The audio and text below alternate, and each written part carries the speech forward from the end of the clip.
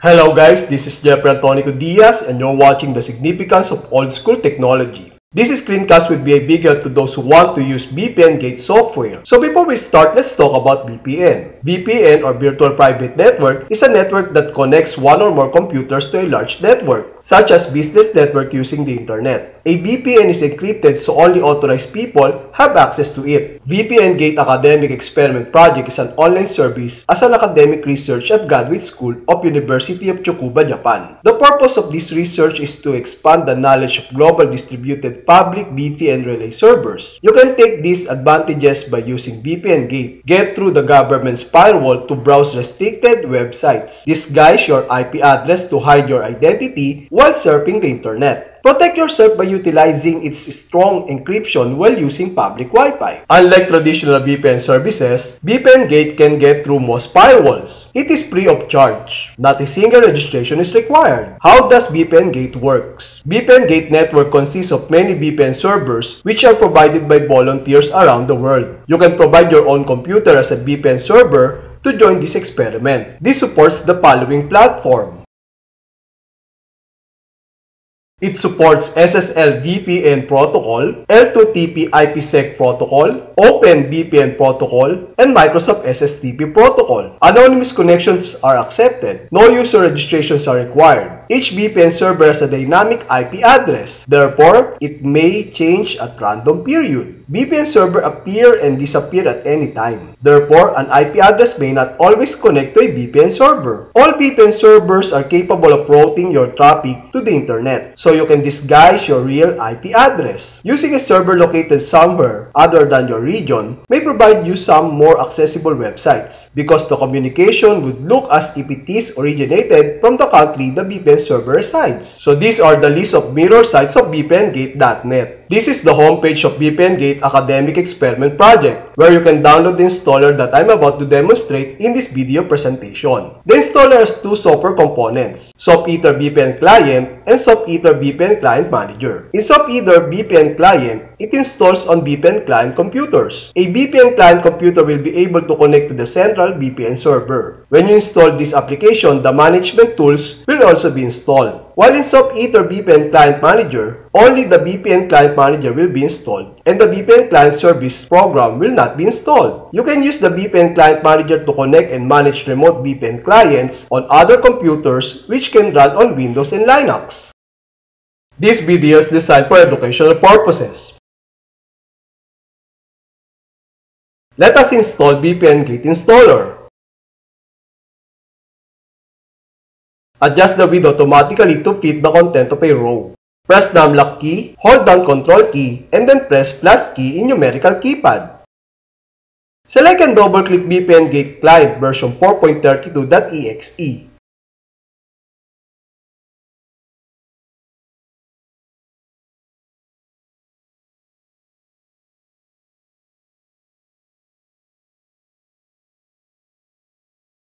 SoftEther VPN is freeware developed at University of Tsukuba, Japan, and a high-performance VPN with the ultimate compatibilities to many devices. It also accepts OpenVPN and Microsoft SSTP VPN clients.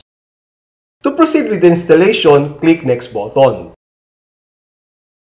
If user account control appears, click Yes button. In this activity, we're going to select SoftEther VPN client and then click Next button. As always, read the entire end-user license agreement by pressing page down key several times.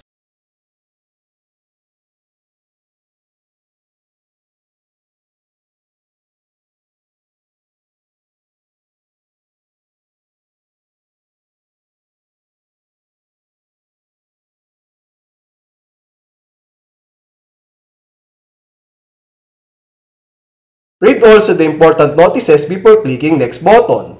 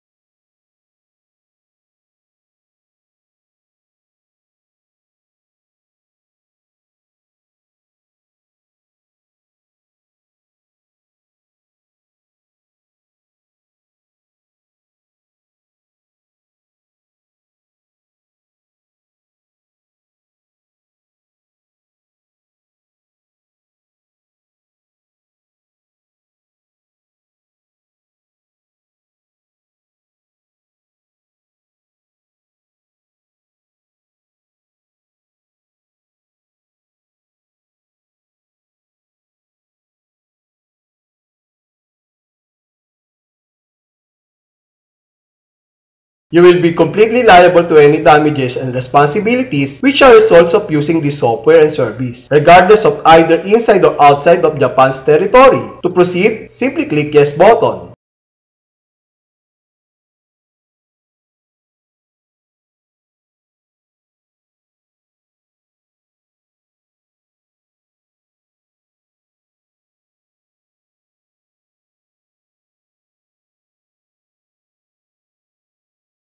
The program starts automatically after the successful installation process.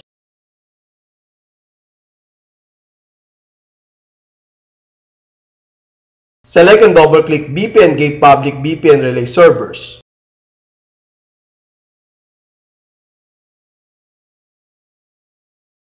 Choose your preferred public VPN relay server.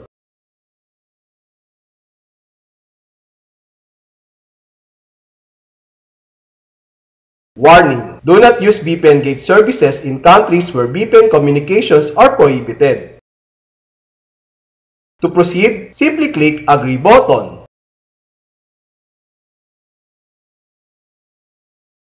Please do not perform any other operations while virtual network adapter is being installed.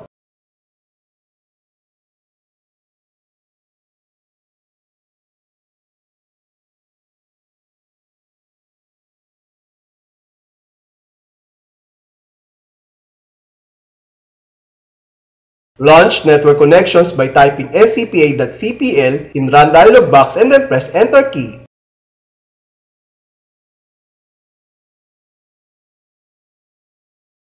Let's check the new local area connection design for VPN client.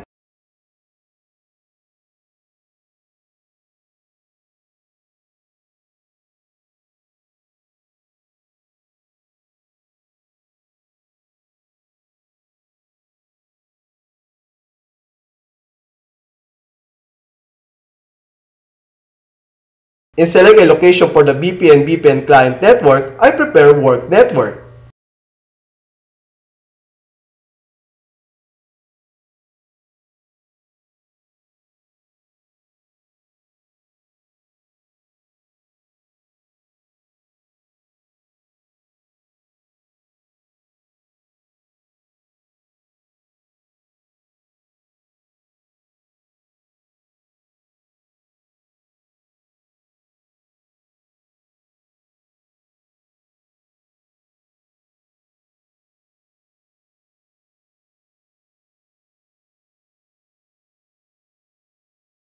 So that's all for now. Stay safe, may God bless us all, and see you in my next video. Don't forget to subscribe